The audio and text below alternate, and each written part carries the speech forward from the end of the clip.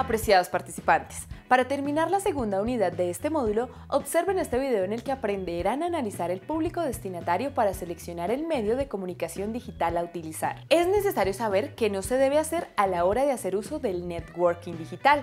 Aquí mencionaremos algunas recomendaciones. Enviar mensajes sin saber a quién. Es importante planificar la estrategia de networking, definiendo a quiénes estarán dirigidas las acciones. No analizar la competencia. Es clave estudiar el entorno y lo que se está realizando reemplazar el contacto físico por las relaciones virtuales. Ahora veamos qué son las comunidades de opinión especializadas.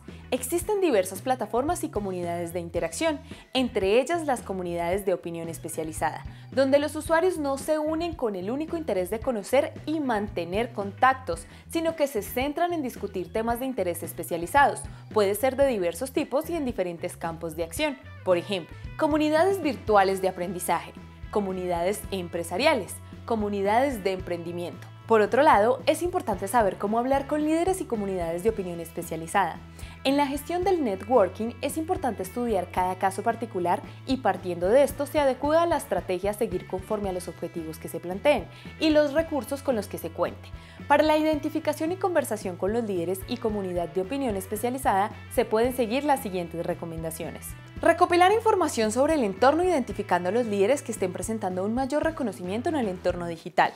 Conseguir recomendaciones y referencias a partir de otros contactos dentro de la red personal hasta llegar a esos líderes de mayor interés para la gestión del networking. Emplear Twitter y otras redes sociales que permiten mencionar a líderes de opinión y de esta manera iniciar conversación. Ahora los invito para que sigan adelante con el estudio de este módulo, revisando el contenido del recurso y la guía del estudiante y realizando los ejercicios que encuentran a continuación.